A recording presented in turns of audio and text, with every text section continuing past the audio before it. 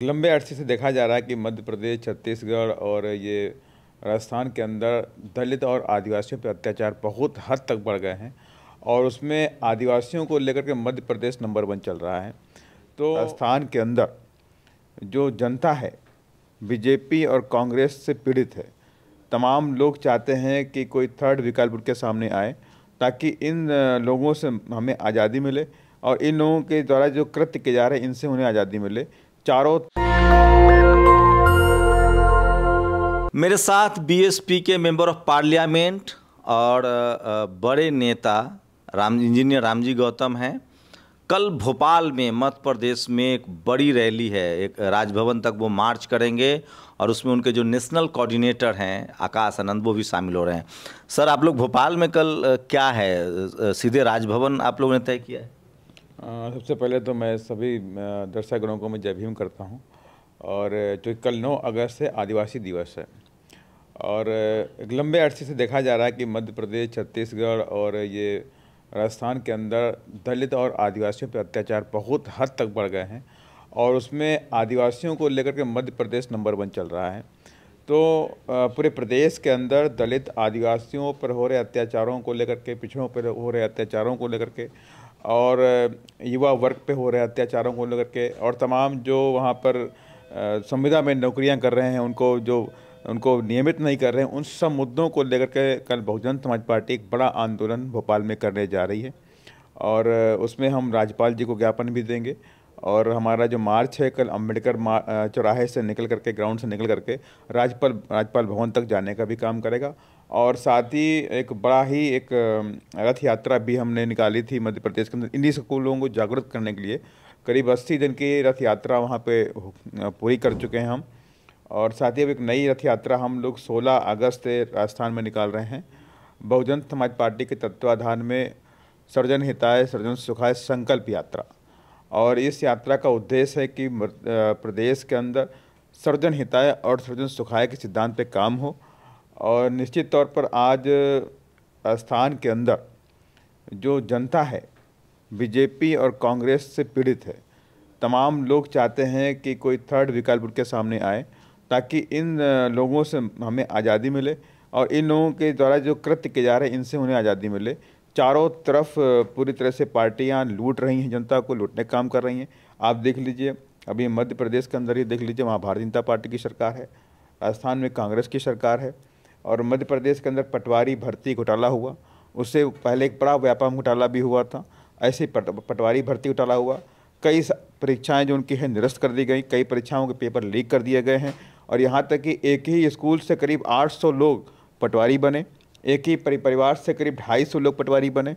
तो ये सब चीज़ें कहीं ना कहीं से इशारा करती हैं कि प्रदेश के अंदर अराजकता और करप्शन का एक व्यापार चल रहा है तो उन सब चीज़ों को लेकर के बहुजन समाज पार्टी कल मध्य प्रदेश में बड़ा आंदोलन करने जा रही है और जिसमें तमाम युवा तमाम पार्टी के कार्यकर्ता लाखों की संख्या में कल इकट्ठे होने वाले हैं भोपाल में। और मोर्चा संभाला आकाश आनंद जी ने। जी बिल्कुल। हमारे राष्ट्रीय कोऑर्डिनेटर जो हैं वो हम वहाँ पे पूरे उनका पूरे आंदोलन का नेतृत्व कर रहे हैं और कल पूरी तरह से वो मुस्तैदी के साथ में पूरे कार्यकर्ताओं को संबोधित भी करेंगे उनके साथ चलेंगे और सारी बातें करेंगे। उन्होंने ट्वीट किया है कि मैं अब लगातार लगातार मैं पूरे दो मही, ढाई महीने तक कार्यकर्ताओं से मिलूँगा। तो का, इस कड़ी में भोपाल में कल 9 अगस्त को है, उसके बाद राजस्थान में भी कुछ शेड्यूल है आप लोगों का। हाँ बिल्कुल 16 अगस्त से हम लोगों का एक संकल्प यात्रा है सर्वजन हिताय सुखाय को लेकर के संकल्प यात्रा हम निकाल रहे हैं, और जो 16 अगस्त से चल करके उनतीस अगस्त तक कंटिन्यूस चलेगी। और जो विभिन्न जिलों से होते हुए करीब करीब उसमें हम 20 जिलों में जा रहे हैं और 20 जिलों से होकर के करीब करीब अ, 120 असम्बलीज को कवर कर रहे हैं। 300 के आसपास सभाएँ की जाएँगी उस पूरे उस यात्रा के दौरान। और रात्रि विश्राम जो होगा किसी न किसी गाँव के अंदर होगा। यह भी एक नया तरीका है। बिल्कुल नए नए रूप में बीएसपी है कि बीएसपी ज़मीन से पहले भी जुड़ी हुई थी। तो ये लोगों को लग रहा था कि बीएसपी ज़मीन से जुड़ी हुई नहीं है। तो उनको बताना चाहते हैं कि बीएसपी से ग्राउंड लेवल से लेकर के जो हमारा जो कार्यकर्ता है हाइयर लेवल की जो पोस्ट है वहाँ तक का भी जो कार्यकर्ता है सभी लोग ग्राउंड से जुड़े हुए हैं। ज़मीन तो तो शुरुआत कहाँ से हुई? धौलपुर से? जी बिल्कुल 16 अगस्त से धौलपुर में हम लोग शुरुआत कर रहे हैं और बड़ा आंदोलन वहाँ से स्टार्ट होगा। और समापन जयपुर में उनतीस उनतीस तारीख को समापन जयपुर में होगा जो यहाँ से धौलपुर से होते हुए धौलपुर करौली और भरतपुर अलवर दौसा सीकर झुंझुनू गंगानगर हनुमानगढ़ नागौर बीकानेर से होते हुए आहोर जालौर जा करके फिर भीलवाड़ा और अजमेर से होते हुए वापस उनतीस तारीख को जयपुर में समापन किया जाएगा। दोनों कार्यक्रमों में शुरुआत और जयपुर में भी आकाश आनंद उसमें भी शुरुआत आखिरी में रहेंगे साथ में हमें पूरे उन्होंने कहा भी है कि हम पूरी यात्रा में साथ में रहेंगे। पूरी यात्रा? पूरी यात्रा। मतलब पैदल मार्च में शामिल रहे हाँ, पैदल मार्च नहीं एक्चुअली ये हम यात्रा है। यात्रा है। और जहाँ पर हमारी जो जहाँ पर पब्लिक एरिया है, वहाँ तो हम पैदल यात्रा निकालेंगे और जहाँ पर कोई पब्लिक या नहीं है तो वहाँ पे हम लोग गाड़ियों में आगे की तरफ़ मूवमेंट करेंगे, क्योंकि लंबा सफ़र है। लंबे सफ़र को इतने शॉर्ट टाइम में हम लोग पूरा नहीं कर सकते हैं तो ये चीज़ों को पहला प्लान किया गया हुआ है। तेलंगाना भी आप देख रहे हैं, तेलंगाना में आर एस परवीन पिछले दो साल से लगता है घर ही नहीं गए हैं। क्या वो स्ट्रेटजी आप लोग को लग रहा है कि ज़्यादा बेहतर है, जिस तरह से उन्होंने तेलंगाना में बीएसपी को एकदम लीड भूमिका में खड़ा कर दिया हाँ? बिल्कुल, तेलंगाना के अंदर आज बीएसपी बहुत ताकत के साथ में आगे बढ़ रही है और बड़ी उम्मीदें हैं। कार्यकर्ताओं ने पूरे जी जान से मेहनत पे लगे हुए हैं और सारे लोग काम कर रहे हैं। हमारे जो प्रदेश अध्यक्ष जी हैं, R S Praveen Kumar ji retired IPS वो भी पूरे शिद्दत के साथ में पूरी मेहनत के साथ में लगे हुए हैं। उन्होंने संकल्प लिया हुआ है कि हम यहाँ पर बहुजनों का जो बहुजन समाज पार्टी है उसका राज यहाँ पर स्थापित करके रहेंगे। बहन जी रोज किसी न किसी राज्य के साथ मीटिंग कर रही हैं? हाँ बिल्कुल बहन जी पूरी तरह से एक्टिव हैं और इस बार हर प्रदेश के साथ में और उनके लोगों के साथ में डेली बहन जी मीटिंग कर रही हैं। और हम लोग बड़ी उम्मीदें हैं इस बार 2023 से भी और 2024 से भी। एक आखिरी सवाल जो अभी बहन जी ने, एक उसको लेकर बहुत मीडिया में चर्चा भी हुई कि उन्होंने कहा कि पावर ऑफ़ बैलेंस करेंगे हम इस बार, खासकर जो चार राज्यों का विधानसभा चुनाव है, राजस्थान, छत्तीसगढ़, मध्य प्रदेश और तेलंगाना। इसके क्या संकेत हैं? लोग इसके अनुमान लगा रहे हैं, कोई कह रहे हैं वो प्री पोल अलायंस जाएँगी या पोस्ट पोल अलायंस जाएँगी। इसको लेकर कन्फ्यूज़न भी है। बाद में उन्होंने इस तरह की संभावनाएँ आने, किस तरह कई सारे मीडिया रिपोर्ट्स ने खबरें चलाई कि बीजेपी के साथ गठबंधन होगा, उसके बाद आपकी पार्टी ने कहा कि हम ऐसे लोगों पर कानूनी कार्रवाई करेंगे, जो लोग इस तरह के सूत्रों से खबर चला रहे हैं।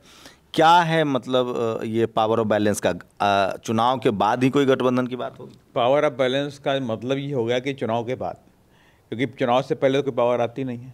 जब बीएसपी बैलेंसिंग पावर बनेगी कि बिना बीएसपी के किसी की सरकार नहीं बनने जा रही है तो उस केस में बहुजन समाज पार्टी इस बार बाहर से किसी को समर्थन नहीं देने वाली है और इस बार वो पावर की शेयरिंग करेगी। सरकार में शामिल होगी। इसका मतलब ये हो गया पावर ऑफ़ बैलेंसिंग बनने पर हम सरकार में शामिल होंगे, अपने लोगों को पावर दिलवाने का काम करेंगे, ताकि वो जनहित में जा कर के, जनहित के लिए, गरीबों के लिए काम कर सकें। बिना पावर के काम नहीं कर पाते हैं। तो ये पावर दिलाने का हम लोग पूरा पूरा प्रयास करेंगे इस बार। तो सोचिए, चार राज्यों में विधानसभा चुनाव है, खासकर तेलंगाना, आर एस परवीन काम कर रहे हैं वहाँ, उनको स्टेट पैनल में बीएसपी सुप्रीमो ने मुख्यमंत्री कैंडिडेट तक घोषित किया है।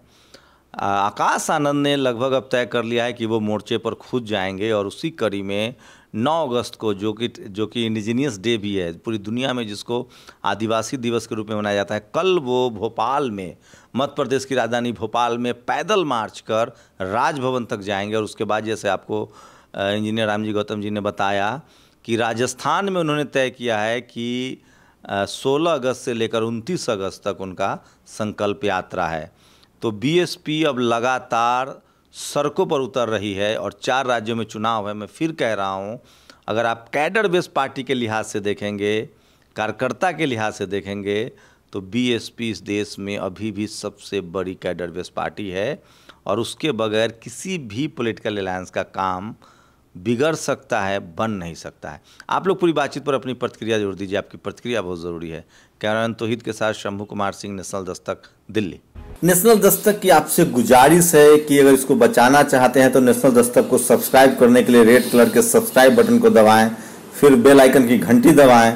नेशनल दस्तक को बचाने के लिए बहुत ज़रूरी है कि हर खबर को शेयर करें, लाइक करें, कमेंट ज़रूर करें।